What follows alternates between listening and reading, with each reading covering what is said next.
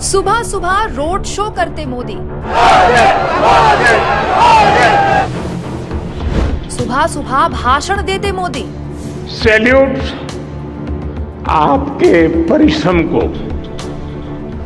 चंद्रयान पर गदगद मोदी। जहरीली टीचर पर क्या बोलेंगे? अपनी विदेश यात्रा से वतन वापसी करते हुए प्रधानमंत्री मोदी दिल्ली की जगह सीधे बेंगलुरु गए। इसरो के उन वैज्ञानिकों से मिलने जिन्होंने चंद्रयान थ्री की सफल लैंडिंग में अपना योगदान दिया। प्रधानमंत्री मोदी जब सुबह सुबह वैज्ञानिकों से मिलने गए तो कई सवाल खड़े हुए सवाल ये कि जब वैज्ञानिकों को पीएम मोदी फ़ोन पर और चंद्रयान की लाइव लैंडिंग के वक्त दो बार बधाई दे चुके थे तो फिर तीसरी बार बधाई की, ये ज़रूरत थी या सियासी कवायद?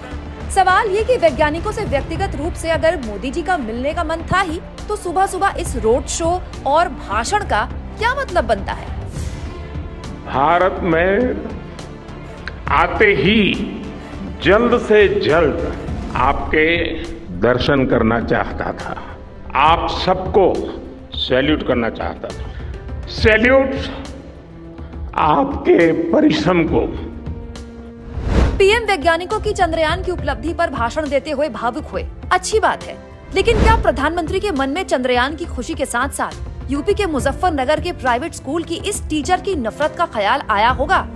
क्या प्रधानमंत्री के मन में ये बात आई होगी कि जो देश तीन दिन पहले चाँद में पहुँचने का जश्न मना रहा है, उसी देश में बीजेपी के डबल इंजन वाले यूपी के एक प्राइवेट स्कूल में टीचर एक सात साल के मासूम को पाँच का पहाड़ा ना सुना पाने पर न केवल उसी के क्लास के बच्चों से पिटवाती है, बल्कि बच्चों के आगे हिंदू मुसलमान वाला जहर उगलती है। भारतीय समाज के इस आज के विरोधाभास पर रिटायर्ड कर्नल अनिल दोहन ने कहा, चंद्रयान थ्री और तृप्ति त्यागी नए भारत के स्पेक्ट्रम के दो छोर हैं। विज्ञान और नफरत की कोई सीमा नहीं है। ये सामने आ रही वास्तविकता है। आप भारतीय समाज के इस विरोधाभास पर क्या सोचते हैं, जो एक तरफ़ चाँद पर पहुँचने का जश्न मनाता है तो दूसरी तरफ़ उसी के एक स्कूल के बच्चे को बुरी तरह से नफरत का सामना करना पड़ता है। कमेंट बॉक्स में ज़रूर लिखें। और जितना हो सके चैनल को शेयर करें और सब्सक्राइब करें।